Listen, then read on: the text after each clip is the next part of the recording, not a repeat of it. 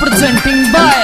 superstar music कोई का lovers बोला राम निमले sound music by